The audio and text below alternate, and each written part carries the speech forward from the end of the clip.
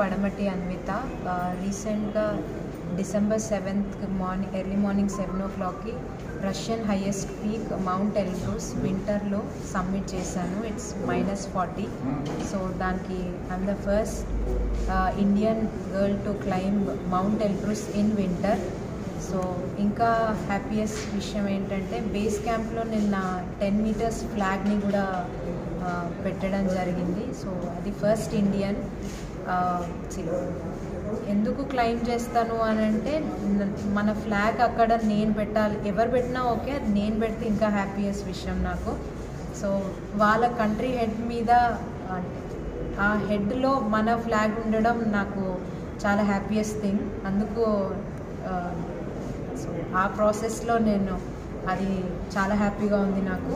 And thanks Gudur Reddy గారికి నా special thanks చెప్పాలి. యాజ్ ఐ టోల్ నేను ముందుగా చెప్పినట్టుగా ఆయన అంత బిజీ షెడ్యూల్లో ఉన్నప్పుడు టైం ఇచ్చి విని సపోర్ట్ చేయడం.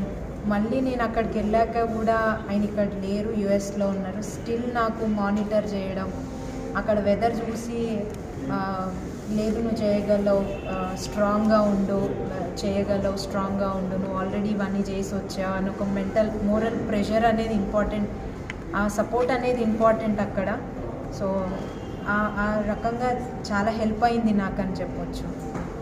ఇంకొన్ని పీక్స్ ఉన్నాయి ముందు ముందు క్లైమ్ చేయడానికి.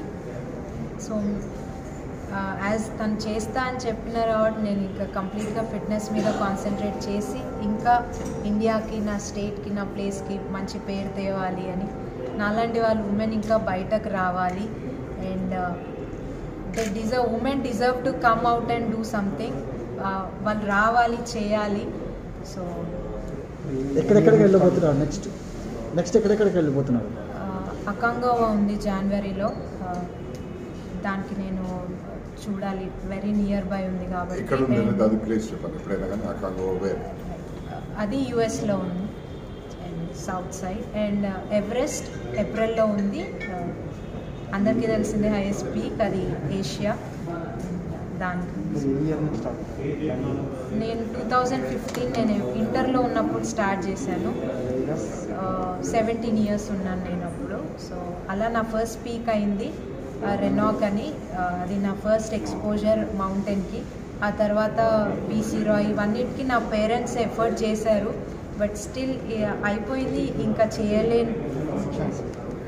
భువనగిరిలో